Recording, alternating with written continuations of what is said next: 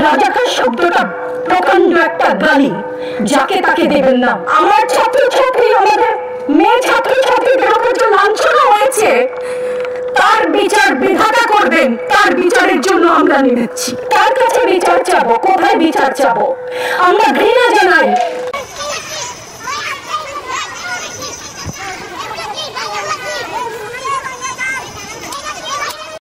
আজকে আমার কিছু প্রশ্ন আছে সবার কাছে।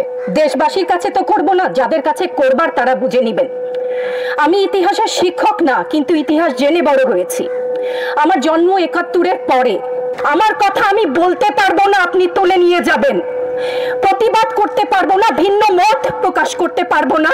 আপনি আমাদেরকে রাজাকার বলে গালি দিবেন। ছাত্র ছাত্রীদের উপর জুলুম বন্ধ না করলে পরিণতি ইতিহাস বলে দেয়, কারও জন্য ভালো হয় না। জন্মে মুক্তিযুদ্ধের চেতনা থেকে জানি।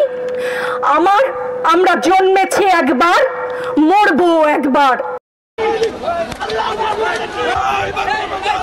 ভয় দেখাবেন না। আজকে আমার ভাইকে আবার কেন বলছে?